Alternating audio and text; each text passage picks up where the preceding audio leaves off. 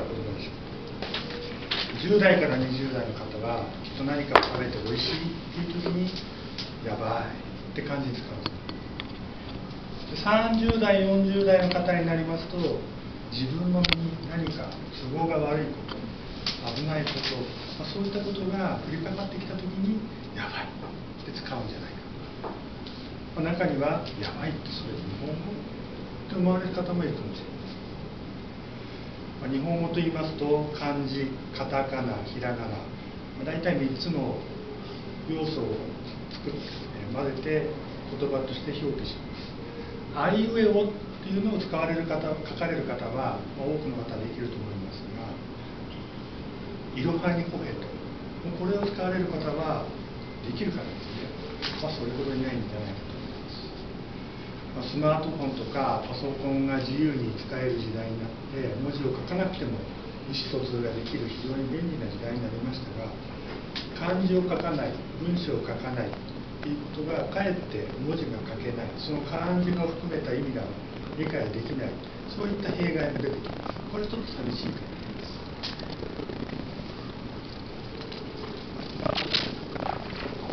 一つ例を挙げたい。な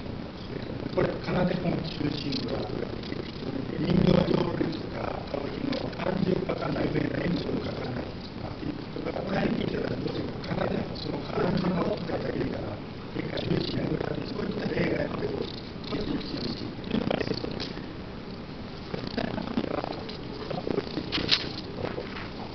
一つ例を挙げたいこれ、かなで本中心蔵。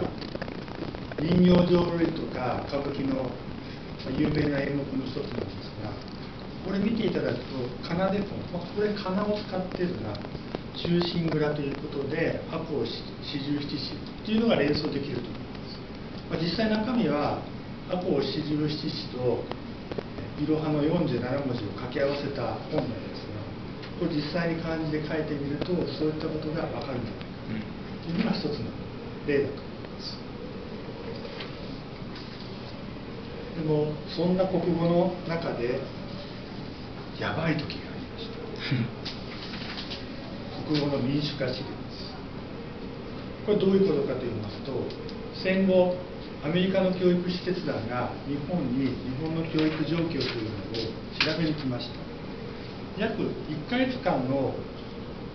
施設の視察の中で大きく分けると633制の教育制度男女共学 PTA の創設。今の日本の教育制度の基本となっている仕組みを GHQ のマッカーサー元帥に提言していま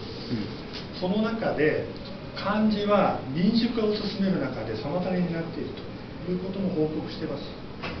これはどういうことかというと漢字を覚えることが非常に難しくて自然科学とかそう一般的な教養を身につけるだけの時間的なゆとりが日本人にはないと。いう、まあ、そういった理屈です。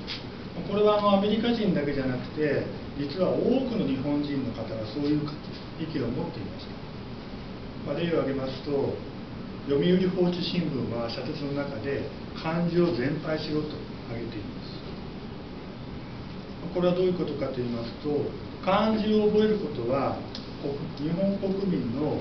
知能発達の素材になっている、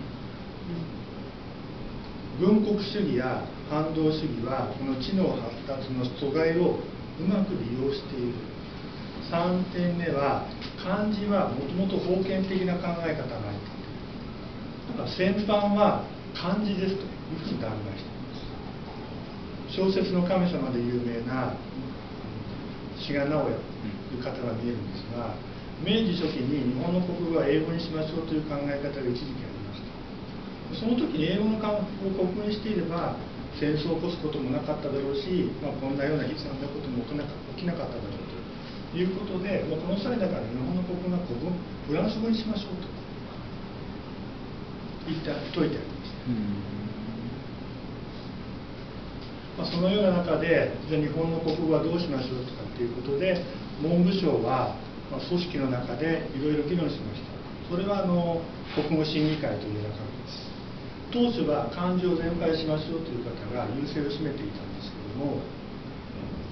まあ、最初に出したことっていうのは約漢字は5万語5万5万字あると言われています。その中で1850文字を東洋漢字としては使いましょう。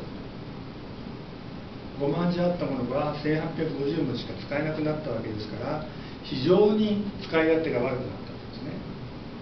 でまたその東洋漢字というのは書き方自身も簡略化されて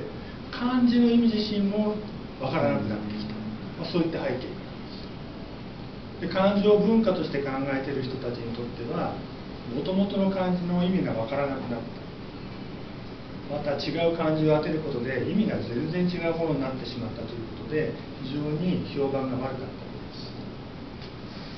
当時の文部大臣であった中村美吉大臣はある答申の会議で日本語の表記は漢字および仮名表記を前提としてお願いしますと挨拶されたんですね。この時をもって漢字をローマ字で使うとか漢字全廃です全廃をするという動きはなくなったと